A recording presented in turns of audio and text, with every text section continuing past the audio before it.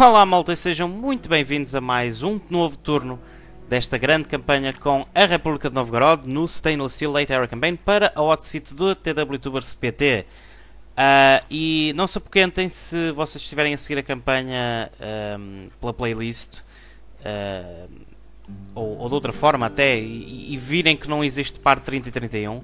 Mas mais uma vez, devido a mais uma ausência, eu não pude gravar essas partes porque simplesmente um, essa minha ausência implicava sempre uh, o, portanto, um, não cumprir uh, os dois dias, as 48 horas que nós temos uh, como membros desta hot seat para jogar os nossos turnos.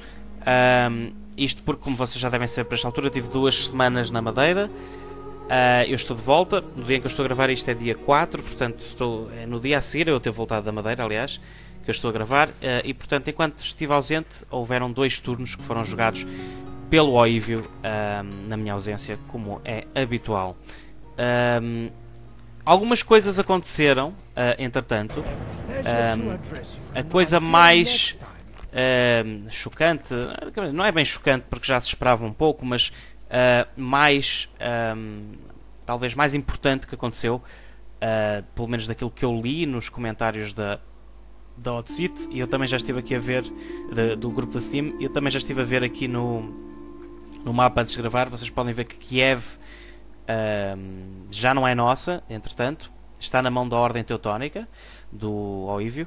Uh, isto porque o Oivio, uh, que era nosso aliado, já se avizinhava que eventualmente passasse para o lado de lá e se tornasse nosso adversário ao longo do tempo, porque um dos objetivos dele é eliminar-nos. Portanto, neste momento, a guerra eclodiu entre nós os dois. Um, e pronto, e que ganha, que ganha o melhor. Um, já estou a ver que ele trouxe um exército aqui pelo norte, uh, provavelmente a pensar em tomar Pskov ou Novgorod. Uh, aqui mais dois, uh, perto de Polotsk. Ele, ele, provavelmente está à espera que eu vá ter com ele. Uh, provavelmente a estratégia dele é essa. Eu vá ter com ele para que ele se sinta apoiado aqui pelo, pelo exército de trás. Portanto, nós não vamos cair nisso, vamos ficar em Polotsk a não ser que ele avance eventualmente e cerque. Uh, vamos ver o que é que acontece. Uh, obviamente que se este Zabassian vier para, para Pskov ou Novgorod, nós tentaremos quebrar o cerco da melhor maneira. Uh, quanto a Kiev, eu estou muito, muito tentado a retomá-la e vou fazê-la, vou fazer isso com o Voislav, que vai partir já já para lá. Nós estamos fora do alcance deste exército. Eu não sei se eles têm um exército escondido a algures nesta zona. Não me admiraria uh, que o tivessem. Uh, mas provavelmente não alcance suficiente de apanhar o Voislav. Portanto, nós vamos. O Voislav que estava a pensar em vir uh, auxiliar o seu pai Iziaslav aqui na, na, na, guerra contra os turcos, que seria a nossa guerra principal, teve que regressar então para trás agora e retomar a grande cidade de Kiev, que foi capital de, do Grão-Ducado, uh, que nós eliminamos no início desta campanha, há uns meses atrás, e portanto ele será, irá cumprir essa mesma missão. Temos aqui um novo, novo general, parece-me, muito seguro de Novgorodsky. Vamos pôr ali dentro de Pereslav. Eu nem sei bem quem ele é. Ok, era o filho mais novo do, do nosso Niaz, Vladimir, do nosso adulto. Ainda tem aqui mais um irmão, Domaslav, que ainda faltam dois anos para se tornar adulto. Uh, e portanto ele também tem aqui um outro exército, um terceiro exército grande, o Jobst, uh, provavelmente está aqui a olhar em vir tomar Olesha. Nós vamos manter na defensiva nesta guerra, esperar que ele venha ter connosco. Isto porque nós não temos necessariamente que tomar as regiões dele, uh, nem temos que o eliminar. Nós simplesmente temos que, que ter Constantinopla e vamos uh, fazer uh, tudo para o alcançar. Uh, tínhamos um espião que estava a vir para aqui, mas ele deve ter ido ao fundo, não? Yes. Ou é este espião? Eu não me lembro se eu cheguei a, a desembarcar ou não. Eu estou a ter a play do Papa.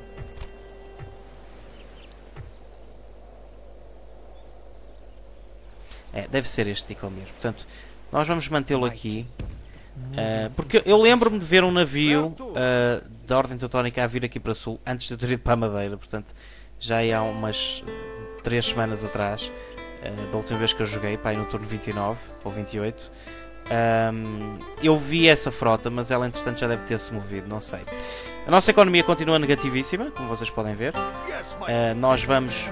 Ah, não, não, não, não, não! Não! Foda-se! Volta que foste dar, meu.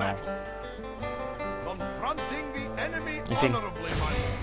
Eu ia dizer que íamos tentar acabar com isso o mais rápido possível ao cercarmos Kutaisi, a cidade rebelde aqui anteriormente pertence, uh, que pertencia aos turcos. Uh, mas pelos vistos vai ser difícil uh, porque eu cometi o terrível erro de trazer uh, o gajo para esta dar a volta por aqui para, para fora e portanto ele perdeu os pontos de movimento agora só no próximo turno. Enfim, mas nós no próximo turno iremos cercar com o Tyson e vamos tomá-lo o mais rápido possível. Mal eu possa montar cerco eu irei fazê-lo. Para tentar evitar, obviamente, perder mais dinheiro e poder reba rebalançar as contas, aliás, o melhor possível, uh, porque isso consegue-se fazer ao tomar cidades um, novas. Um, e um, também, uh, para o caso de eu urgentemente precisar de mover algum exército para aqui, uh, eu tenho a certeza que pelo menos o Izyaslav já tomou Kutaisi e eu posso movê-lo rapidamente eh, então para eh, a parte ocidental do nosso, da nossa República para combater estes bravos e perigosos exércitos germânicos da Ordem Teutónica e deixar uma guarnição em Kutaisi. Uh, mas é isso, malta. Penso que não há mais nada a fazer neste turno. Não há construções, a nossa economia não nos permite. Temos que ter o olhar muito atento um, à Ordem Teutónica, sem dúvida alguma. Uh, eu até estou a pensar em trazer o exército defensivo uh, de Murom uh, em direção à fronteira ocidental. Apesar de a gente ainda não ter uma ameaça muito, muito séria da Ordem Teutónica, pelo menos visível para já lá, e, e, provavelmente conseguimos vencer algumas daquelas batalhas, acho que quanto mais cedo a gente mover este exército, visto que tem uma grande distância ainda daqui até eh, demorou-me até, por exemplo, Polotsk. Um, eu acho que podemos começar a movê-lo já, mas não com o Grigori, porque o Grigori já está bastante velho, ele pode ficar em Morom. Uh, confesso, no entanto, que tenho alguns receios uh, relativamente a, aos comandos.